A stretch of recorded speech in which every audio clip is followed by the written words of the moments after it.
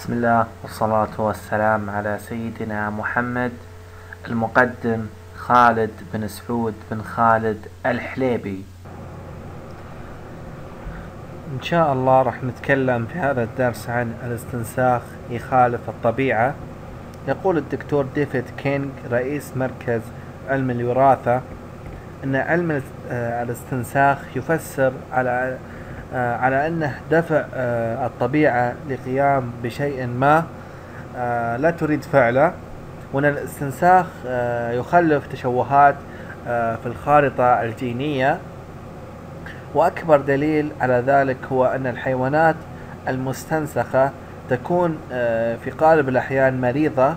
وهذا الخلل وهذه التشوهات ستكون موجودة في أي نسيج أو خلايا يتم استنساخها. ولذلك فإن الاستنساخ أجنة وأطفال آه، سيعتبر أمر غير أخلاقي أي أن الاستنساخ يعاكس آه، الطبيعة وهو أمر غير أخلاقي ولأن آه، هذه العملية خطيرة جدا. يقول تبارك وتعالى في القرآن الكريم فليغيرون خلق الله ومن يتخذ الشيطان وليا من دون الله فقد خسر خسرانا مبينا. فقد خسر خسرانا مبينا.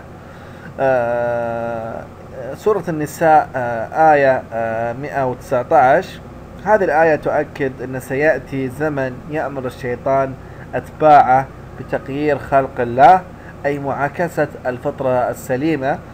فهو عمل شيطاني وهو عمل يخالف للطبيعة. صراحة ما نقول سبحان الله والله أعلم.